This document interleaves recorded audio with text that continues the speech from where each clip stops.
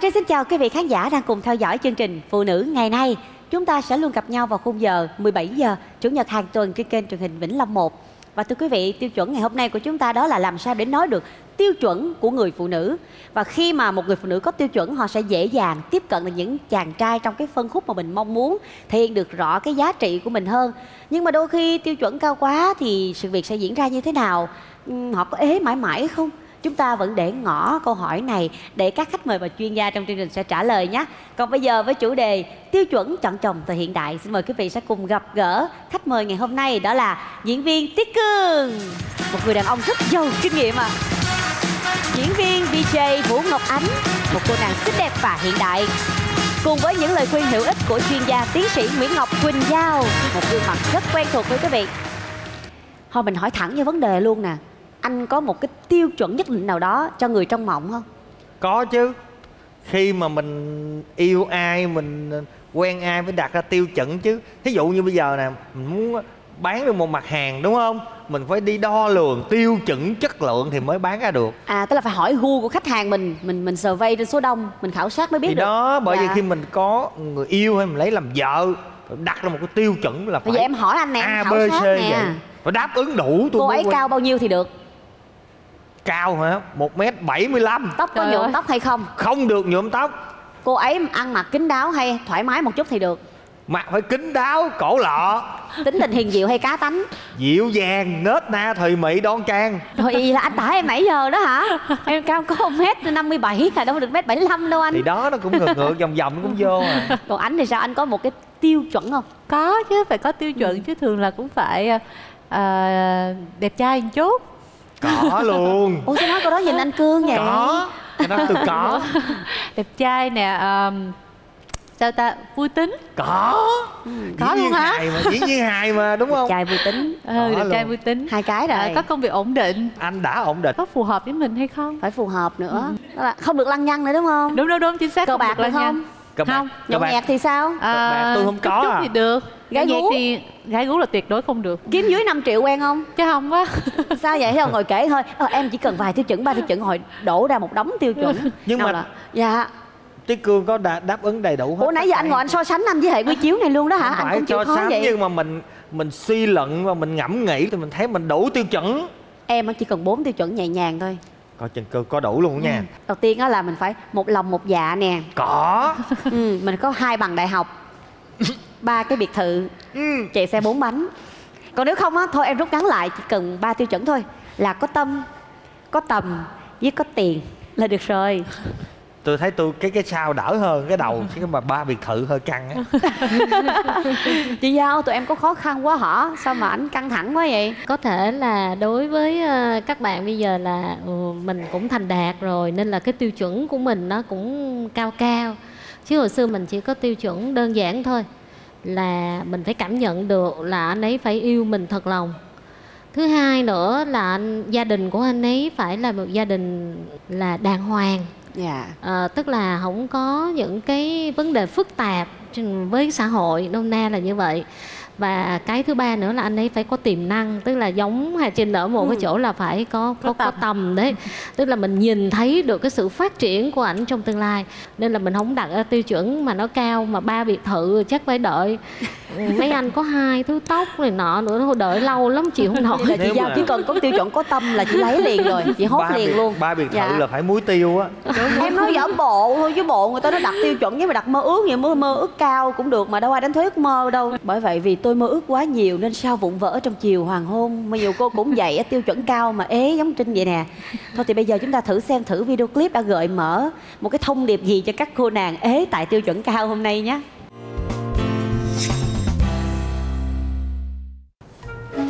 À, Ủa chị nè nga nó gửi thiệp cưới cho cưng đó. Cái gì? Nga đám cưới hả? chứ gì nữa trời nó báo cưng rồi. Nó có nhắn tin nhưng mà không tin luôn á rồi sao không tin người ta người ta cưới chồng mà không tin cái con này thiệt nó khổ ghê. Không phải cái vấn đề ở đây là Chị cũng thấy rồi đó. Con Nga nó quá đẹp. Ờ Tự nhiên đi lấy thằng chồng sinh viên Nghèo sơ nghèo xác Uổng Trời nói vậy đâu có được. Em Trời ơi, chồng người ta là tiến sĩ em hiểu không? Tiến sĩ hả? Ừ. Tiến sĩ hay là đang học tiến sĩ? Thì đang học tiến sĩ mai mốt sẽ trở thành tiến sĩ. À cha cái đó khác nha. Bây giờ tiến sĩ với lại đang học tiến sĩ là cái con đường nó xa lắm nha chị. Nha. Ừ, thì với à. lại bây giờ chị không thấy hả? Tiến sĩ ra là tốt nghiệp ra rồi cũng thất nghiệp như chơi thôi bây giờ á, em không biết là nó có sung sướng hay không sau này nó có trở thành bà tiến sĩ hay không. Nhưng mà em thấy trước mắt là nó phải đi làm còng lưng ra nó kiếm tiền để nó lo cho học rồi sau này biết ra có việc làm không? Hay là hả rồi, rồi hai đứa rồi cặp đất ăn tiếp Trời ơi em đừng có suy nghĩ mà nó nó nó tệ bạc như vậy chứ hay là nó nó nó nó xui xẻo đến mức độ đó. Cứ nghĩ là người ta học người ta sẽ thành tài gì người ta sẽ có công ăn việc làm đàng hoàng ổn định. Đối với em bây giờ một túp liều tranh hai quả tim vàng là không có thật. Trời ơi, em ơi nhưng mà tình yêu là nó là cảm xúc em hiểu không? Cảm xúc hả? Cảm xúc xong hai đứa xúc đất ăn luôn. Trời đất ơi Không biết là chuyện với con này ta. Không hợp có gì em đang nói thiệt mà. Mình biết tình yêu là cảm xúc nhưng mà khi mà mình chọn chồng á mình phải có một cái mục tiêu nhất định nhất định chứ không phải sao? bạ đâu quơ đó. Trời ơi, chọn chồng em làm như đi, đi đi mua đồ ăn mà phải chọn loại tốt loại loại, loại ngon vậy á. nó gần giống như vậy quơ đại chồng nào đó về làm khổ mình rồi sao? Theo em thì tiêu chuẩn chọn chồng sao mới được? Thật ra tiêu chuẩn chọn chồng của em nó cũng đâu có gì đâu mà quá đáng Ờ. cũng không có gì gọi là cao. Ừ nếu vậy thì cũng được. Có tiền nè nhà giàu đó rồi có nhà lầu có xe hơi à, làm lương tháng đâu chừng trăm triệu được rồi không cần nhiều. Đó chưa hết đâu nha còn phải yêu thương em phải đội em lên đầu. Đó mới thực sự là người chồng tiêu chuẩn của em. À, ý em nói lấy gì em phải làm má liền á hả? Là má gì? Trời ơi cái gì mà đội lên đầu dữ vậy ba chồng mình là phải như vậy chưa hết đâu nha. Chồng của em là còn phải là không hút thuốc nè không rượu chè không gái gú. Rồi mỗi tuần phải chở em đi shopping ít nhất là 7 ngày. 7 ngày một tuần là ít nhất đó hả? Ừ. Trời đất ơi thôi chị biết Vậy mới yêu em đó. chị biết đối tượng của em là ai rồi. Ai anh Lê Minh Hơ. Đó bèo bèo nhất cũng phải như vậy. Em cũng phải được cỡ đó thì em mới gặp được cỡ đó chứ. Đúng em đã cố gắng bèo lắm mà em không bèo nổi. Trời ơi em ơi, tiêu chuẩn kiểu đó chắc em ế quá. Trời làm gì ế? Chứ gì nữa tiêu chuẩn cao quá ai mà mà mà, mà đáp nổi. Cái tiêu chuẩn gì mà cao? Chứ cái gì tiêu nữa? chuẩn của chị chọn chồng chị chọn làm sao? Theo chị tiêu chuẩn chọn chồng đơn giản lắm. Thứ nhất là anh ấy phải yêu chị. Thứ hai nữa là có công ăn việc làm ổn định. Rồi vấn đề quan trọng nhất đó là xử sự. Có nghĩa là xử sự với nhau, tử tế tôn trọng nhau, đối với dòng họ hai bên là ok rồi. Cần chi mà kinh khủng vậy? Còn gì nữa không? Hết. Ráng môi môi coi còn gì nữa không? Chồng xấu là chồng của mình. Trời ơi chồng xấu chồng của mình á.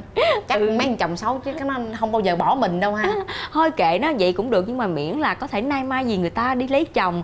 Còn cái tiêu chuẩn của em có thể là một ngày nào đó chừng nào chị chống gậy chị mới đi được đám cưới của em. Xê, khỏi cần gì chống gậy vì cái nha. ngày đó nó xa quá đi. Không dám đâu em nói cho chị biết nghe chưa cái ngày đó sẽ không xa đâu Quay trở về với chủ đề là tiêu chuẩn chọn chồng thời hiện đại Chúng ta thấy là một cái tiêu chuẩn đặt ra giống như một cây thước gì đó Để đo coi có vừa với mình không Vậy thì mình có cần cái cây thước đó không anh? Theo anh nghĩ theo uh, Tí Cương nghĩ thì cái tiêu chuẩn của cô gái trong tiểu phẩm vừa rồi đưa ra cũng hợp lý ừ. bởi vì ờ, cô ta có quyền đặt ra những điều kiện có những cái yêu sách cái anh chồng tương lai của mình như thế nào để có thể đảm bảo được hạnh phúc đảm bảo được cái cuộc sống sau này của cô ta? Dạ. Thì Tí Cương thấy hoàn toàn hợp lý. Anh ngồi nghe ở ngoài anh có tuổi thân không? Nếu mà các cô gái ai cũng đặt ra những tiêu chuẩn cao như vậy Xa như vậy. Đâu tuổi thân gì đâu tại vì bản thân tôi tôi thấy tôi cũng đầy đủ tất cả các tiêu chuẩn của cô ấy và mọi người đưa ra. Anh cương là người đàn ông rất tự tin. Dạ quá tự tin phải rất Còn riêng anh, anh thấy nghe những cái tiêu chuẩn đó Anh thấy có xa vời không hay là cổ hoàn toàn xứng đáng? Ờ, anh thấy thì hơi xa vời một chút. Trong thực tế mình sẽ có cái tiêu chuẩn của mình đúng là đặt ra trên cái thước đo như vậy nhưng mà tùy vào cái thực tế mình sẽ biết chọn lọc hay là chỉnh sửa sao cho nó phù hợp. Chứ Dạ. nếu như mình đặt nó quá xa vời thì thực sự là mình sẽ ế hoài hoài dài dài luôn. Dạ. Nếu mà mình đặt cái tiêu chuẩn như vậy á Thì mình có thể nào tìm được một người đầy đủ tiêu chuẩn như mong ước không ạ? Chị Giao theo kinh nghiệm của chị với những cái ca chị thấy tương tự. Trong cái câu chuyện á mình thấy rằng là các bạn à, gái á, hiện nay là uh, hay đề cập đến một cái yếu tố là về kinh tế đúng là mình phải nhìn tiềm năng tức là anh ta có thể sẽ tự nuôi được bản thân anh ta hay không chứ còn nếu như mà các cô gái trẻ mà cứ đặt ra như vậy thì rõ ràng là anh này ảnh có gia đình giàu có cái là đưa vô tiêu chuẩn của mình được tức là nhà giàu có nhưng mà anh ta lại không biết làm kiếm ra tiền thì trước sau gì thì mình cũng sẽ gặp những cái khó khăn trong cái cuộc sống hôn nhân Dạ, riêng cái trường hợp của Trinh nghĩ là cô gái này đặt cái tiêu chuẩn tiền không phải là quá đáng lắm bởi vì thật ra phụ nữ mình thì chỉ mong một cái mái ấm để mà có chỗ an toàn nuôi con thôi. Đó là Đúng. cái tiềm thức của mình. Ờ, nhưng mà thí dụ bây giờ anh gặp một cái người ở trong cái độ tuổi ờ, đang học cao học đi, Ừ. giống như cô bạn của cổ đó, Ừ. mà là sinh viên, chưa có kiếm ra tiền, lương tháng đi làm thêm được 5 6 triệu một tháng đi. Thì ờ, đặt trường hợp là muốn cầu hôn ánh, muốn đi xa hơn với ánh và hứa với ánh là sau này anh sẽ cố gắng hơn. Vậy là mình có sẵn sàng cái tâm thế là đồng cam cộng khổ Ừ, thật sự là anh đồng cam cộng khổ đó nhưng mà anh không biết là cái người bạn trai của anh có tự tin vào cái điều đó hay không chia sẻ một cái chuyện thực tế thôi hồi xưa lúc mà hai anh có quen một người bạn trai thì lúc đó anh mới bắt đầu công việc nghệ thuật thôi là người mẫu ảnh xong bắt đầu đi diễn thời trang. Thì cái người bạn trai đó ảnh chỉ là một uh, sinh viên trong trường bình thường thôi. Thì ảnh vẫn đi xe máy đến đưa đón đàng hoàng không có gì hết nhưng mà ngày càng à, ngày ngày ngày qua ngày thì ảnh lại cảm thấy không tự tin. Thế là ảnh ấy uh, khóc. Cái ngày đầu tiên mà à, mà ảnh đón ảnh đi từ cái buổi biểu diễn thời trang đó về hai đứa đi ăn với nhau mà ảnh đòi chia tay. Ảnh đòi chia tay ngay lập tức luôn và lúc đó anh ngồi anh ăn cái tô phở mà anh khóc hết nước mắt luôn. Anh anh nói là tại sao lại như vậy? Em em không có chê anh em vẫn cảm thấy rất là hạnh phúc trong chuyện tình cảm này với anh nhưng mà tại sao lại đòi chia tay với em? Vậy là bản thân ảnh á, có một cái tiêu chuẩn rồi. Anh Cương Anh có đồng cảm với anh chàng này không? Thật ra tiêu chuẩn của ảnh là một người có có gần gần cái đẳng cấp giống ảnh thôi. Không cần phải vượt xa cái tầm tay của ảnh như là một cô gái như ảnh đâu. Không có nằm trong vùng an toàn của ảnh. Đúng rõ ràng cũng không trách anh chàng này được bởi vì anh chàng này muốn tìm một cái gì đó nó an toàn. Lúc đó cái hoàn cảnh ta là sinh viên thì không dám mơ mộng cái gì nó lớn lao lắm. Mà cảm thấy lúc đó ánh là có thể là ngoài tầm tay của ảnh. Thì em cũng nói là bây giờ với cái tiêu chuẩn của em hay là với cái suy nghĩ của em em sẵn sàng đồng cam cộng khổ với cái người đàn ông đó. Chỉ hy vọng là anh ta hiểu được là có những cái hoàn cảnh như vậy và anh ta tự tin vào bản thân mình và tin vào cái chuyện tình cảm em dành cho anh ta? Dạ Và em luôn nghĩ là cái tiêu chuẩn về tiền bạc nó cần thiết. Nó ảnh hưởng trực tiếp đến cái cái mái ấm sau này của gia đình mình phải không ờ, chị Quỳnh Giao? việc mà các cô gái đưa ra một cái tiêu chuẩn là anh phải cần kiếm được một cái khoản tiền ít nhất là anh nuôi được bản thân anh. Về sau thì anh phải có thể là đóng góp để xây dựng cái gia đình ngày một phát triển hơn là một cái nhu cầu tất yếu mà tôi nghĩ rằng là nó không sai ngoài những cái tiêu chuẩn về mặt kinh tế mà chúng ta hay thấy là các cô hay đưa ra đầu tiên, thì đâu đó chúng ta vẫn thấy là nó có một cái tiêu chuẩn rất ngầm ở trong những cái người phụ nữ. Đó là những cái tiêu chuẩn về gì ạ? Về cái chí cầu tiến, sự phấn đấu của người đàn ông, bản lĩnh của người đàn ông và chúng ta sẽ thấy rằng là chúng ta chỉ thật sự cảm xúc với những người đàn ông mà thật sự là mình cảm nhận được cái bản lĩnh của họ. Họ có thể che chở cho cuộc đời của mình mà ừ, bảo bọc cho cuộc đời của mình và con cái của mình sau này. Không phải là chỉ vấn đề kinh tế trước mắt mà chúng ta nhìn thấy nó ở tương lai. Ờ. Dạ, trên cái góc độ này cho thấy thú vị ở cái chỗ là chúng ta chia ra 3 phần 7 phần. Thường khi mình nói chuyện với nhau các cô gái nói với nhau ờ, đọ nhau thì hay hỏi tiêu chuẩn của bạn là gì? Họ hay đem những tiêu chuẩn có thể thấy được ở bề ngoài ra là về địa vị tiền bạc hay là cái sức hút ờ, vị thế. Nhưng mà đúng là như chị giao nói dường như có 7 cái phần ngầm nó về sự kết nối gia đình về nhân cách về nhân sinh quan về cách sống về môi trường sống và tư cách giáo dục. Nó ở ở đâu đó mà chúng ta không làm một cái tiêu chuẩn ra ngoài được. Vậy tại sao phải có một cái tiêu chuẩn kết hợp 10 thang điểm này ạ nó có quan trọng hay không? Tiêu chuẩn mà chọn chồng hay là tiêu chuẩn của anh chồng nó cũng sẽ thay đổi theo thời đại mà. Ngày xưa là nhiều khi là chỉ đơn giản thôi mà nó cũng sẽ thay đổi theo lứa tuổi. Ví dụ như mà lứa tuổi sinh viên á, mà tiêu chuẩn của mình đơn giản. Nhưng mà bây giờ ví dụ như Hà Trinh hay là Ngọc Ánh thì tiêu chuẩn nó phải khác rồi. Cái góc độ tiêu chuẩn của ngày nay người ta đặt ra là nó có yếu tố kinh tế thì chúng ta cũng không có nên là đả kích nó nó là một cái phần tất yếu. Dạ. nhưng mà mình đừng có lấy tiêu chuẩn đó trở thành là một cái tiêu chuẩn cốt lõi mà để là anh làm không đủ đó. Tôi say goodbye anh. Tôi bộ lọc của tôi là anh dưới 5 triệu là tôi cho anh ra. Thật ra là nói như Hà Trinh đó là cũng như Ngọc Ánh là mình vẫn có những cái tiêu chuẩn khác để mình lọc. À. Dạ, cái cơ chế xét tuyển này thì nó khá là khó khăn nhưng mà nó cần thiết. Và chúng tôi cũng có một cái câu khảo sát rất là ngắn gọn là nếu như phải chọn giữa một chàng trai nghèo nhưng mà anh ta có khả năng để mà phấn đấu trong vòng 5 đến 10 năm nữa mới kiếm được tiền. Hoặc là chọn một cái anh chàng giàu sẵn rồi, nhà có địa vị rồi nhưng mà anh không có năng lực gì hết. Thì bạn sẽ chọn ai? Và xin mời quý vị sẽ cùng lắng nghe thử ý kiến của các cô ấy như thế nào. Bây giờ ừ, bạn có thể là chưa có gì hết nhưng mà ví dụ như bạn đã có năng lực có uh, phấn uh, phấn đấu và ý chí á, thì 50 năm 10 năm nữa bạn có thể được thành công. Uh, và quan trọng hơn là mình yêu người đó mình có tình cảm với họ thì mình sẽ có sự lâu dài với họ Tại bất tài thì có tiền gì nọ thì nó cũng xài hết thôi đúng không? người đó có địa vị có tiền lo được cho em nên em chọn người đó Chọn người có tiền nhưng bất tài hay người có năng lực nhưng vẫn đang nghèo khó? Câu hỏi được đặt ra cho 20 khán giả được khảo sát của chương trình Phụ nữ ngày nay cho thấy có đến 80% lựa chọn người có năng lực vì tin rằng người đó sẽ thành công trong tương lai. Chờ lâu một chút nhưng vững vàng về sau. Số còn lại thì cho rằng có tiền trước mắt vẫn hơn là chờ đợi. thì duy nhất có một cô thôi cổ nói là tôi chọn anh giàu bây giờ mình Ừ. nói lại với cái cô gái ở trong cái tình huống này đi Ừ. mình cũng chưa thấy cổ có tài năng hay là cái điều kiện kinh tế hay khả năng nổi bật gì nhưng mà cái tiêu chuẩn cổ cũng được cho là cao, cao đó Ừ. cao. vậy thì cái chuyện gì sẽ xảy ra với cổ cổ có tìm được ý trung nhân hay không khi mình rất rõ ràng về định hướng? Người ta vẫn nói là mình có kế hoạch rõ ràng thì mình dễ đạt được đó hơn. Anh nghĩ là chắc có thể cổ tìm được tại vì nhiều khi cổ đã khoanh vùng được cái cái cái um, cái vị trí của mình rồi. Ví dụ như là cổ muốn gặp người đàn ông đó ờ, cái tiêu chuẩn như vậy thì cổ sẽ đi đến cái môi trường như vậy thì biết đâu cổ sẽ gặp được cái người đàn ông đúng như ý cổ muốn. Tế Cương thì nghĩ khác với anh là cổ đặt tiêu chuẩn quá cao như vậy. Thì nếu mà có một cái anh chàng nào đó đủ tiêu chuẩn của cô ấy đặt ra Thì anh chàng đó chưa chắc đã chịu cô đó Bởi vì cái tiêu chuẩn của anh ta đặt ra còn cao hơn. Em cũng đồng ý chuyện đó nhưng mà không biết kết quả như thế nào thì cô gái có tìm được ý trung nhân cao như tiêu chuẩn của cổ hay không? Xin mời quý vị cùng theo dõi.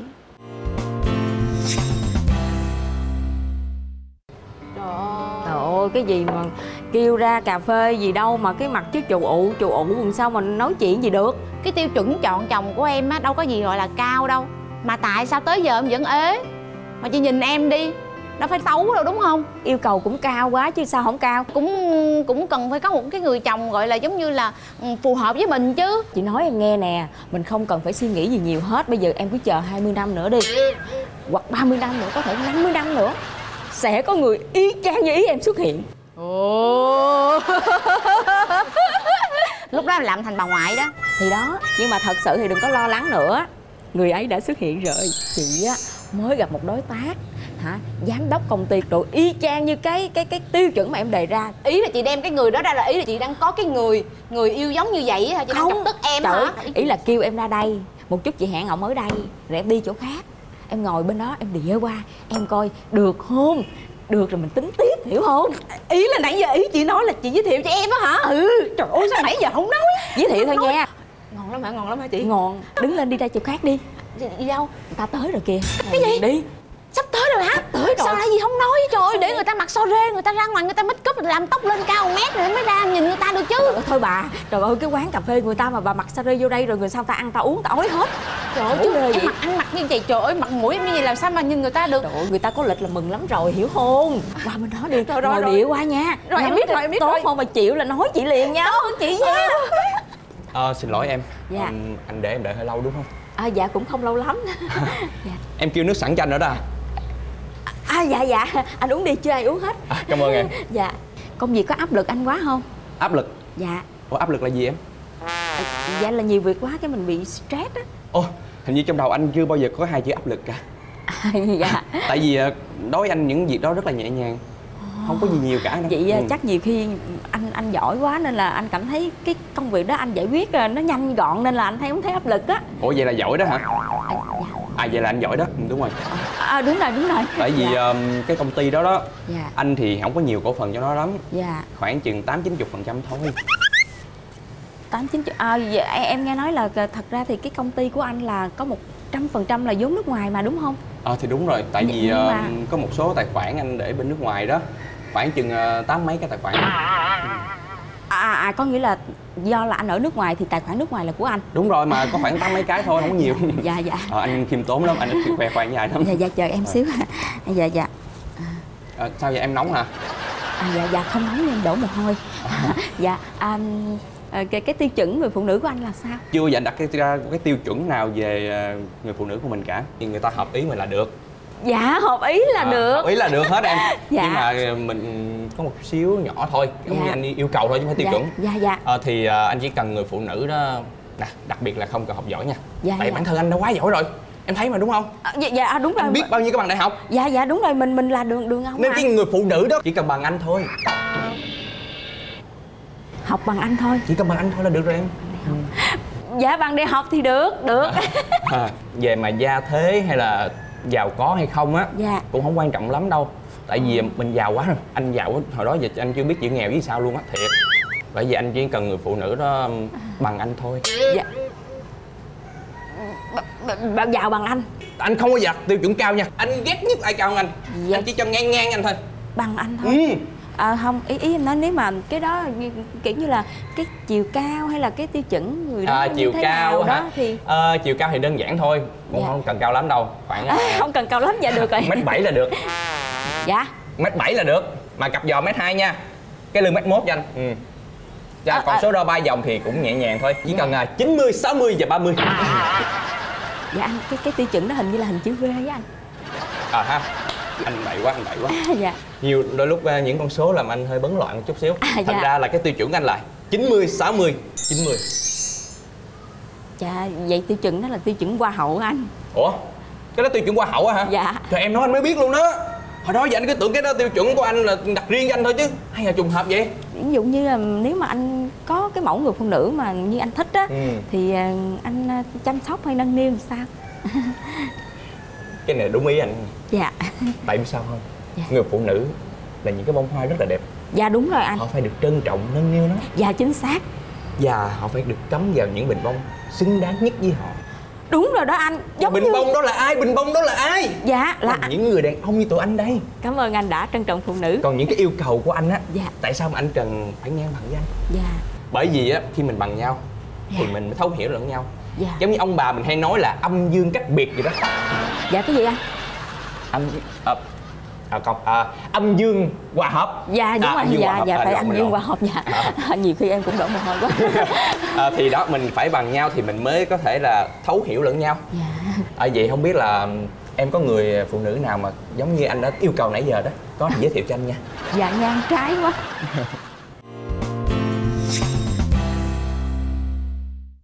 cha cha cái này gọi là gậy ông đập lưng ông.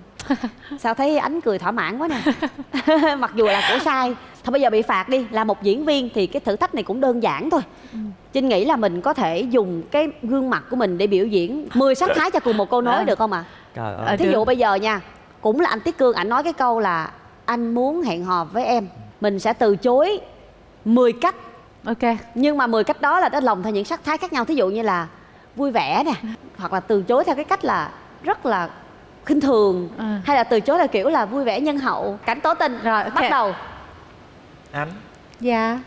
Hẹn hò với anh nhé. Anh anh này em đi chơi á hả? Đợi xíu đợi xíu. Cái gì vậy? Em làm gì? Em định làm gì? Em em kiếm cái kiến á.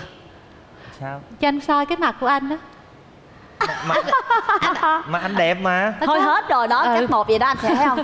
Quá hay chị ơi đúng rồi. Nhục. phong cách này quê không anh là em đi liền luôn. Cũng là một cái sự tỏ tình nhưng mà sắc thái khác là cổ hoàn toàn khác. Cổ sẽ có sự nhân hậu À. và tế nhị trong đó nè nha. Sự từ chối rất tế nhị để các bạn học hỏi nha. Bắt đầu. Anh. Dạ. Hẹn hò với anh nha. Thật sự em muốn lắm nhưng mà hoàn cảnh em không cho phép. Ở nhà anh chị em cũng đông lắm. Ông nội ông ngoại bà thím mà cô nhà em đông lắm. Cộng thêm bác tổ trưởng nữa.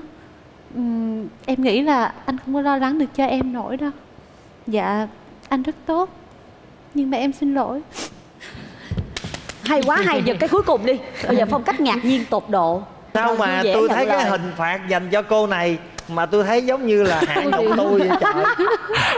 Thôi phong cách phủ phàng đi. Tôi thấy tôi không có được phủ phàng phủ sướng. phàng Phủ cắt phàng đứt rồi. và dứt khoát quyết liệt anh dạ. Chúng mình hẹn hò nhé. Đi về đi.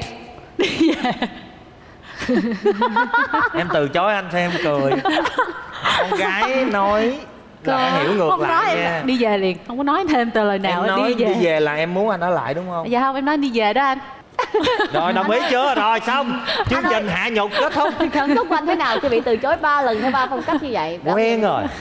Vậy luôn á tưởng anh là người hoàn hảo cơ mà nhưng mà tỏ tình ai cũng bị từ chối hết á dạ không Bởi có vì- đâu thực ra cái này là diễn thôi chứ ngoài đời làm sao mà anh cương gặp được cái trường hợp như vậy không không Không không, đến nào. nỗi phụ không phủ phàng như vậy Dạ. nhưng mà im lặng tội nghiệp Dạ. anh cương quá em bị phạt mà thấy tội anh cương quá à.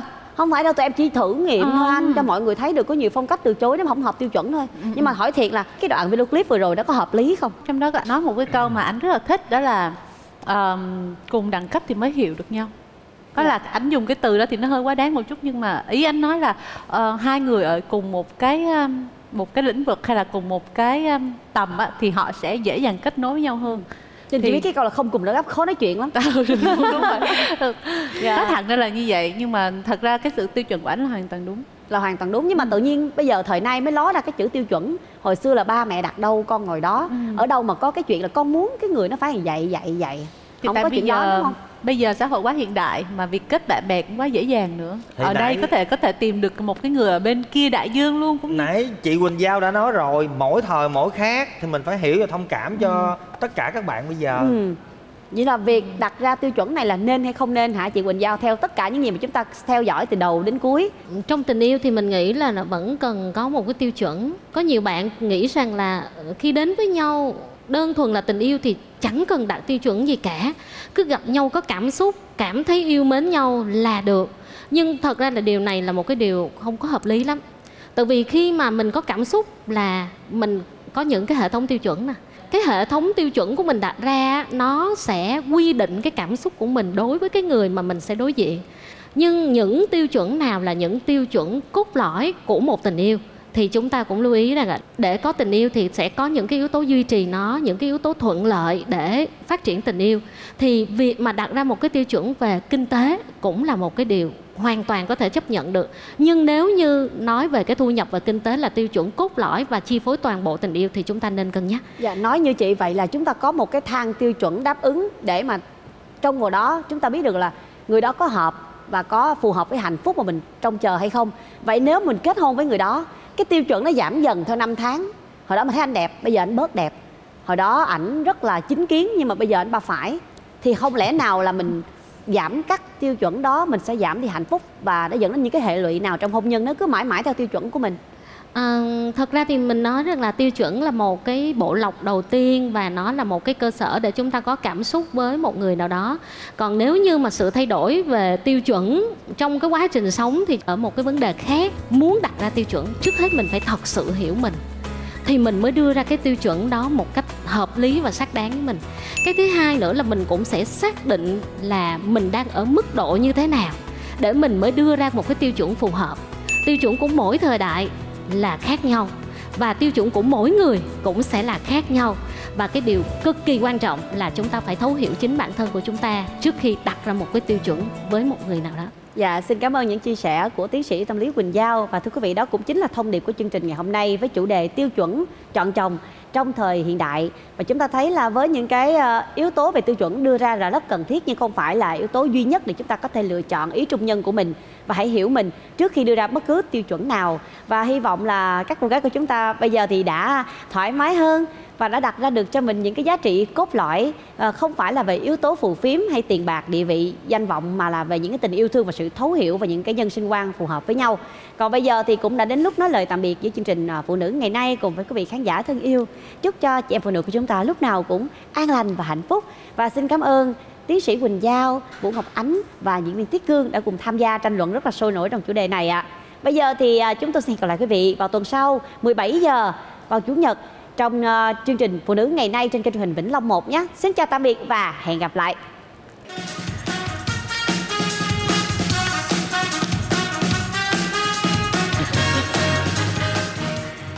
Trên đời này có quá nhiều người để yêu mà chọn đúng người yêu cũ của đứa bạn thân mình mà yêu.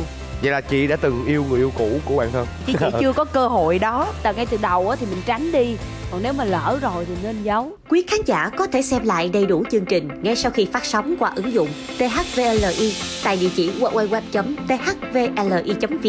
hoặc tại ứng dụng THVLI trên các dòng Smart TV, LG, Samsung và Sony hay trên Google Play hoặc App Store. Khán giả tại Hà Nội có thể xem truyền hình Vĩnh Long 1 trên hệ thống cáp analog của VTV Cáp tại vị trí kênh số 8. Đặc biệt, khán giả cả nước có thể xem truyền hình Vĩnh Long HD độ nét cao trên VTV Cáp, SCTV, HTVC, truyền hình số mặt đất và truyền hình số vệ tinh.